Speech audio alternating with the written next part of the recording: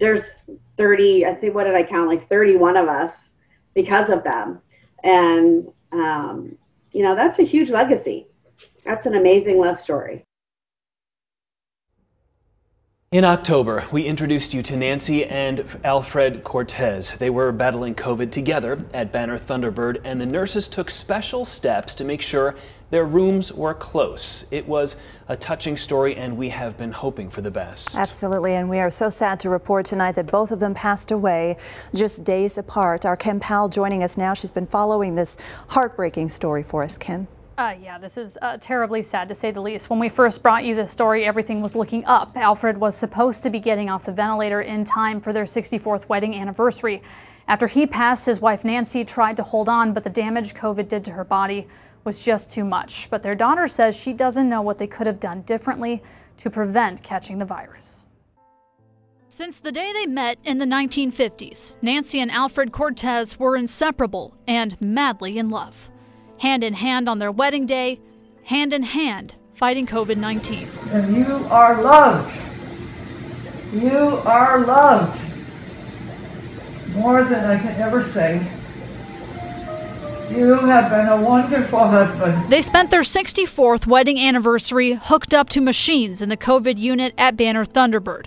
But after a week on a ventilator, Alfred passed away at 87 years old. She really had a will to survive after that. She was like, you know, you can't lose both your parents and she was doing pretty good. But within a week, Nancy's fight with COVID got even harder and she ended up in the ICU. She died eight days after her husband. It doesn't surprise me that they both passed together because it would have been very difficult for them to have been without each other. Alfred was a handyman who loved to tinker with gadgets. Nancy lived for spending time with her family. They were the glue to the legacy they built. It really, it truly was a love story. I mean, we went through all their pictures and, um, you know, just what a life they created. A lifetime of love through sickness and in health. At the very end, she was texting us and she said, I wish I would have taken it more seriously. But I mean, she, we, she did. I mean, we did thought we thought we were following what we were supposed to do. It's been good. All those years, 60, 64 years together, and it's a long, long time.